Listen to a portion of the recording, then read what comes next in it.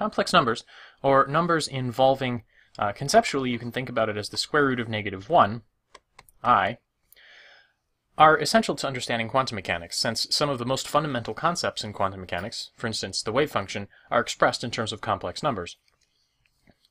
Complex analysis is also one of the most beautiful subjects in all of mathematics, but unfortunately, in this course I don't have the time to go into the details. Lucky you, perhaps.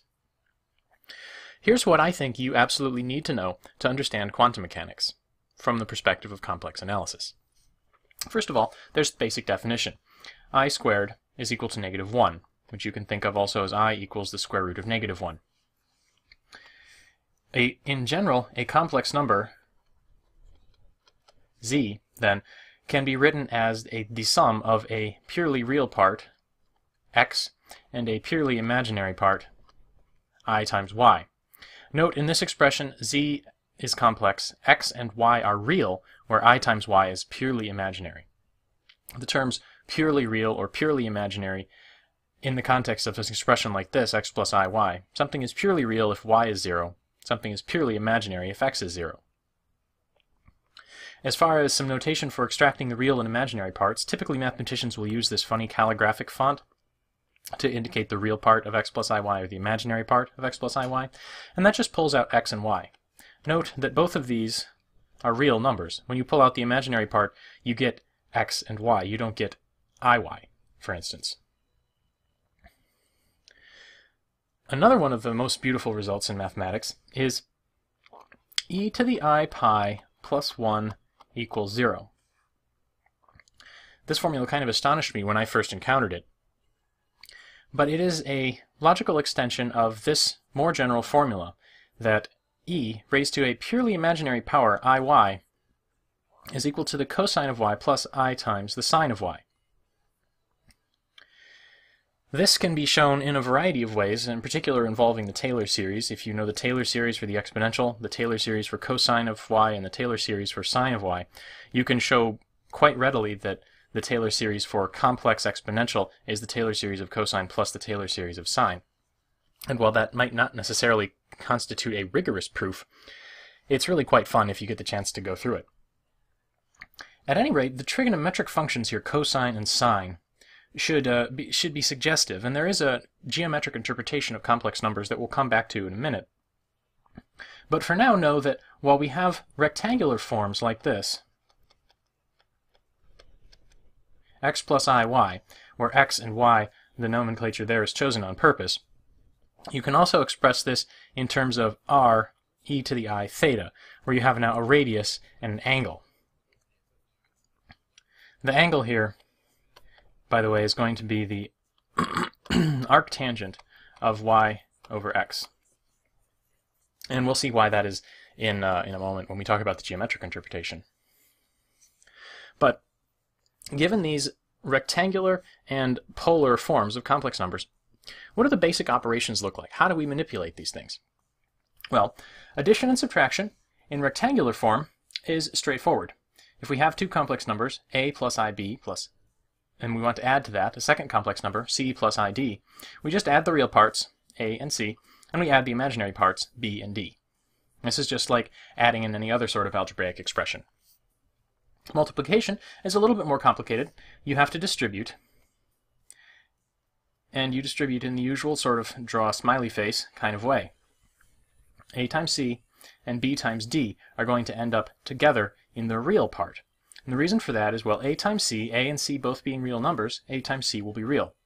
Whereas ib times id, both being purely complex numbers, you'll end up with b times d times i squared, and i squared is minus 1. So you just end up with minus bd, which is what we see here. Uh, otherwise, the complex part is perhaps a little more easy to understand. You have i times b times c, and you have a times i times d both of which end up with plus signs in the complex part. Division, in this case, is like rationalizing the denominator, except instead of involving radicals, you have complex numbers. If I have some number a plus ib divided by c plus id, I can simplify this by both multiplying and dividing by c minus id. Note the sign change in the denominator here. c plus id is then prompting me to multiply by c minus id over c minus id. Now, when you do the distribution there, for instance, let's just do it in the denominator, c plus id times c minus id, my top eyebrows here of the smiley face, c squared minus, sorry, c squared times id, or c squared plus, now, id times minus id, which is, well, I'll just write it out, i times minus id, which is going to be d squared times i times minus i. So i squared times minus 1. And i squared is minus 1. So I have minus 1 times minus 1, which is just 1, so I can ignore that. I've just got d squared. So what I end up with in the denominator is just c squared plus d squared. What I end up with in the numerator, well, that's the same sort of multiplication thing that we just discussed. So the simplified form of this has no complex part in the denominator, which helps keep things a little simple and a little easier to interpret. Now in polar form, addition and subtraction, well, they're complicated. Under most circumstances, if you have two complex numbers given in polar form, it's easiest just to convert to rectangular form and add them together there. Multiplication and division, though, in polar form have very nice expressions. q e to the i theta times r e to the i phi. Well, these are just all real numbers multiplying together, and then I can use the rules regarding multiplication of exponentials, meaning if I have two things like e to the i theta and e to the i phi, I can just add the exponents together. It's like taking x squared times x to the fourth and getting x to the sixth. But qr e to the i theta plus phi. So that was easy. We didn't have to do any distribution at all. The key fact here is that you add the angles together. In the case of division, it's also quite easy. You simply divide the radii, q over r, and instead of adding, you subtract the angles. So polar uh, complex numbers expressed in polar form are much easier to manipulate in, in, in multiplication and division, while complex numbers represented in rectangular form are much easier to manipulate for addition and subtraction. Taking the magnitude of a complex number, usually we'll write that as something like z, if z is a complex number, just using the same notation for uh, absolute value of a real number. Uh, usually is expressed in terms of the complex conjugate. Now, the complex conjugate, notationally speaking, is usually written by whatever complex number you have, here in this case x plus iy, with a star after it. And what that signifies is you flip the sign on the complex part, on the imaginary part. x plus iy becomes x minus iy. The squared magnitude then, which is always going to be a real and positive number, this um, absolute value squared notation is what you get from multiplying a number by its complex conjugate. And that's what we saw earlier with c plus id. Say I take the complex conjugate of c plus id and multiply it by c plus id. Well, the complex conjugate of c plus id is c minus id times c plus id. And doing the distribution, like we did when we calculated the denominator, when we were simplifying uh, the division of complex numbers in rectangular form just gave us c squared plus d squared. Um, this should be suggestive if you have something like x plus i y, that's really messy, x plus i y, and I want to know the squared absolute magnitude. Thinking about this as a position in Cartesian space should make this formula, c squared plus d squared in this case, just make, uh, make a little more sense. You can also, of course, write that in terms of real and imaginary parts. But let's do an example. If w is 3 plus 4i, and z is minus 1 plus 2i, first of all, let's find w plus z. Well, w plus z is 3 plus 4i plus minus 1 plus 2i. That's straightforward. If you can keep track of your terms, 3 minus 1 is going to be our real part, so that's 2. And 4i plus 2i, which is plus 6i, is going to be our complex part. Sorry, our imaginary part. now, w times z, 3 plus 4i times minus 1 plus 2i. For this, we have to distribute. like usual. So from our top eyebrow terms here, we've got 3 times minus 1, which is minus 3, and 4i times 2i, both positive. So I have 4 times 2, which is 8, and i times i, which is minus 1, minus 8. Then, for my imaginary part, uh, the I guess the mouth and the chin, if you want to think about it that way, I have 4i times minus 1, minus 4 with the i out front will just be minus 4 inside the parentheses here. And 3 times 2i is going to give me 6i plus 6 inside. And the end result you get here is 8, or minus 8 minus 3 is minus 11, and minus 4 plus 6 is going to be 2. So I get minus 11 plus 2i for my multiplication here. I guess if I'm going to circle that answer, I should circle this answer as well. Now, slightly more complicatedly, w over z.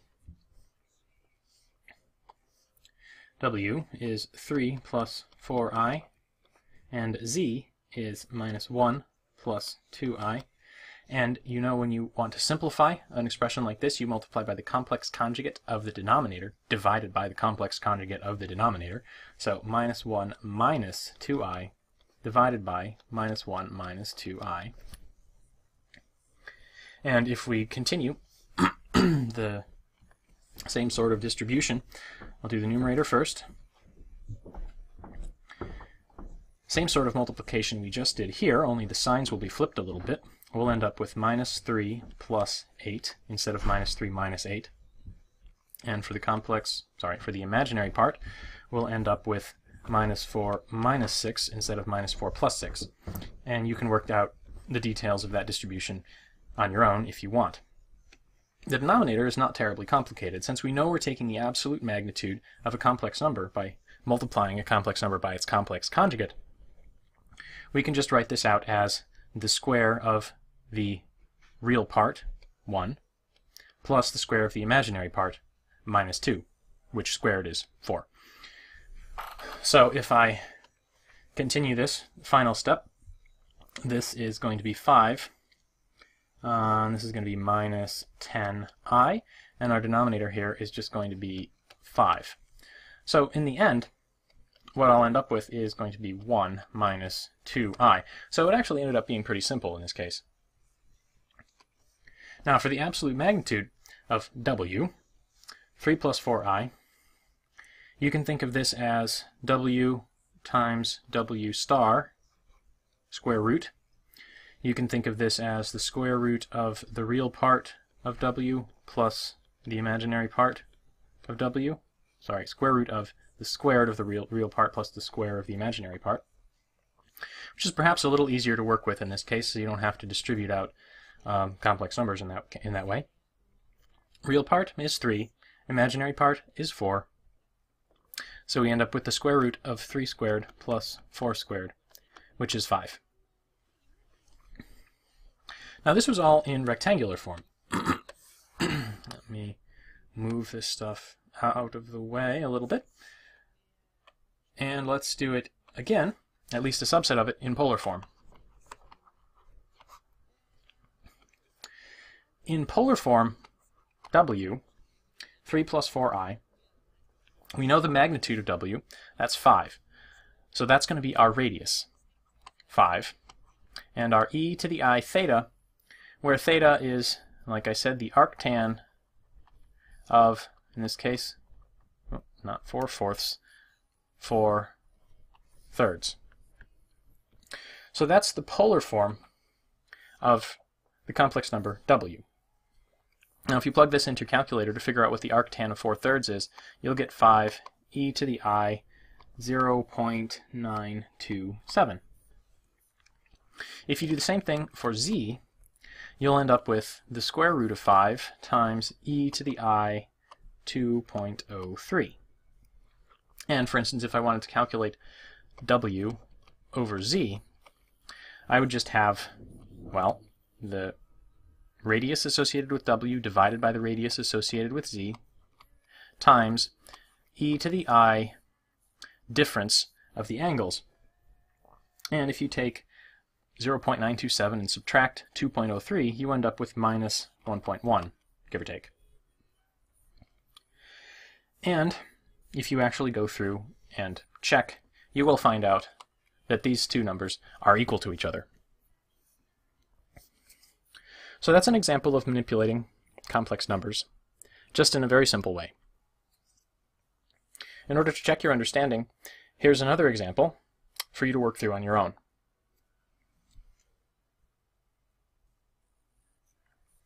Now, the geometric interpretation I've been alluding to is, whoops, I wanted to do this in black, is in two dimensions, hopefully not too surprising.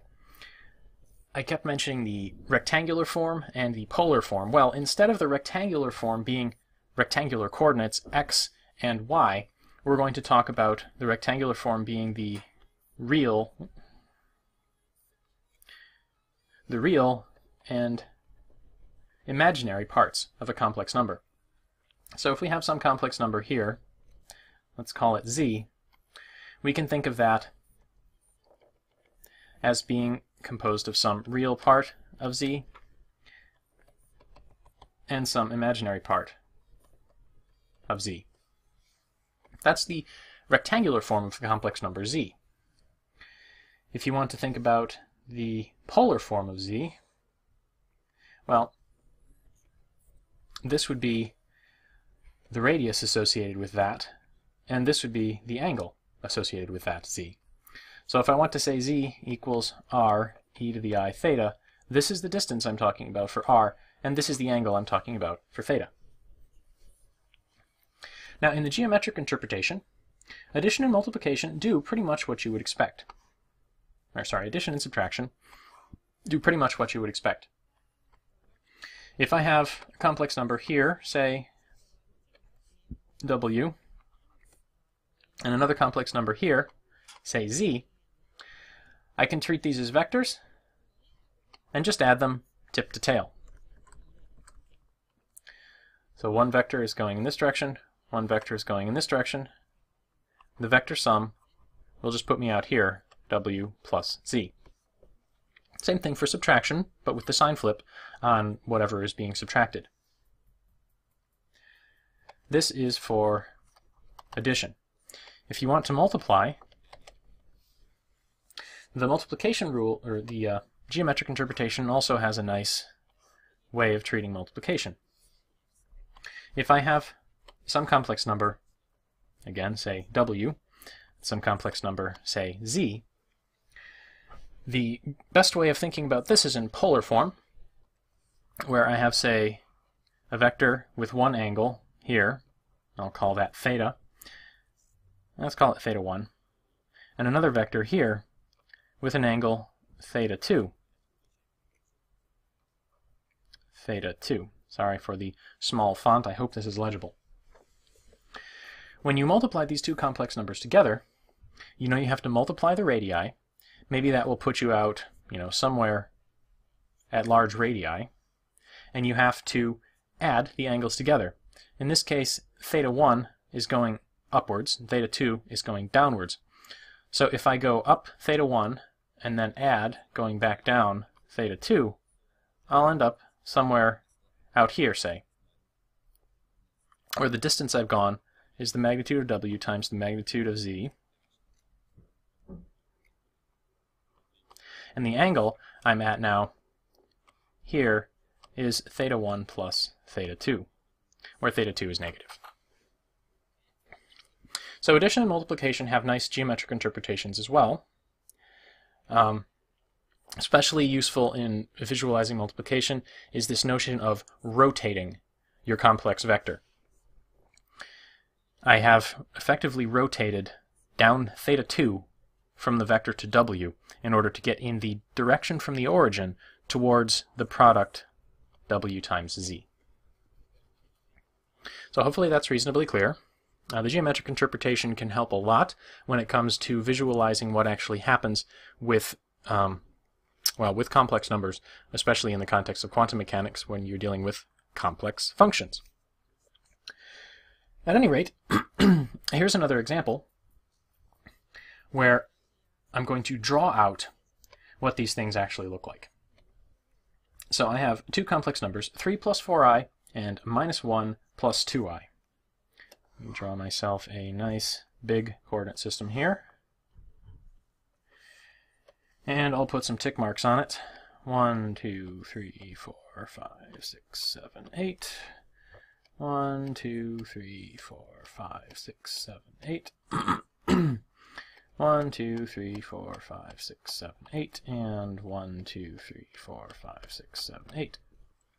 More or less.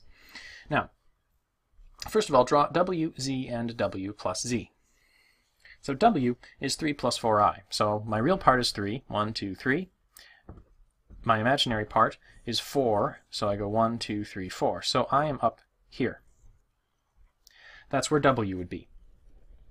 Now, Z is minus 1 plus 2i. So minus 1 plus 2i is z. So z is going to be there. Now if I treat these both as vectors, I have a vector to w and I have a vector to z. And I add the vectors the way I would normally add vectors, tip to tail. I'll end up here at w plus z. Now it's easy to see this in Cartesian coordinates as well. Um, if I'm adding w and z, I'm going to end up with 3 minus 1 for the real part, or 2 up here, and 4i plus 2i, or 6i, 1, 2, 3, 4, 5, 6 for the imaginary part. Now, w times z. If you actually go through and work out what w times z is, you'll find out it has quite a large magnitude. It has a magnitude uh, a little bit larger than 11, 11 point something. But what I really want to emphasize here is the geometric interpretation. And in that case, you need to know the angles involved. So I have an angle here, theta 1, and I have an angle here, theta 2. And it turns out if I add these two angles together, say going up theta 1 and then going over theta 2, I end up somewhere along this in this direction. And you actually have to go out quite a ways. You have to go all the way to minus 11 plus, what was it, plus 2i, I think? Yes, minus 11 plus 2i is the answer for w times z. And if you just look at the angles here, adding theta 1 and theta 2 is going to point you in that direction. So you know it's going to have a negative real part and a positive imaginary part, but perhaps a small positive imaginary part, just by eyeballing the angles, which is not really all that bad. w divided by z it is the same sort of situation, except now instead of adding theta 2 to theta 1, you're going to subtract theta 2 from theta 1. So I'm going to go up theta 1 and then back down theta 2. And where you end up is actually here at 1 minus 2i. But just by eyeballing the angles, you can get a good feel for what part of the complex plane you're in, where typically Come on. This is the real axis of the complex plane, and this is the imaginary axis of the complex plane. In Cartesian coordinates, you have two degrees of freedom, x and y. In the complex plane, you have two degrees of freedom, the real part and the imaginary part. The last thing that I need you to understand about complex numbers from the perspective of quantum mechanics is complex functions. Now, the theory of complex functions is a lot of fun, but beyond the scope of a quantum course. To give you a, an idea for how complex these things can be, f of z is a complex function. Now, z as a complex number, sorry, f of z, if f is a complex function, is going to be complex, meaning I can think about this as some real part function plus some imaginary part function times i. So my one function of a complex variable can actually be, complex function of a complex variable can actually be thought of as two separate functions. Separate real functions, mind you, so this is a slightly simpler way of thinking about things. But you have a real part and an imaginary part. Now in the case of true complex functions like f of z, z itself has two degrees of freedom. So you can think of this as f real of the real part of z and then the imaginary part of z as two separate arguments to that function.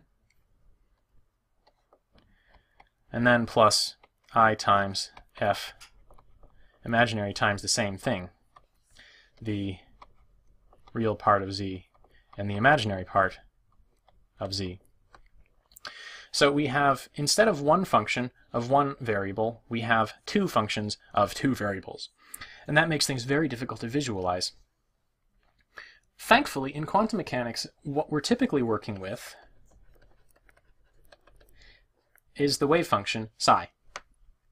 And psi, for a lot of the problems that we're going to be thinking about, is only a function of one coordinate. So you can think about this as psi of x, where x is a coordinate. So psi, well, psi of x is complex. x is real. So while we have to think about the real and imaginary parts of psi, we don't have to worry about the real and imaginary parts of x. We can just think about this as x, a single argument. In terms of how to visualize complex functions like this, you can think about plotting both the real and imaginary parts of this function as a function of whatever well, whatever you're working with. In this case, let's say we have to deal with psi of x. So this is going to be the x-axis, and we'll have something maybe it looks like this for the real part of psi of x, and something maybe it looks like this for the imaginary part of psi. So think about plotting two separate functions, the real and imaginary parts, of this effectively single function as a function of, in the case of this, x, it's uh, rather simple to, uh, to visualize. Now I have some more advanced visualizations that use color to represent the angle in the polar interpretation of psi as a complex function, and they get a little bit psychedelic, and you start hallucinating after a while if you look at them too much. But for now, try to keep in mind that complex numbers have real and imaginary parts and can be interpreted both as x and y in the complex plane, the real part and the imaginary part in a two-dimensional Cartesian plane, or a radius and an angle in a polar representation of the same two-dimensional complex plane. That's about it for quantum mechanics. Like I said, quantum, or sorry, that's about it for complex analysis as needed for quantum mechanics.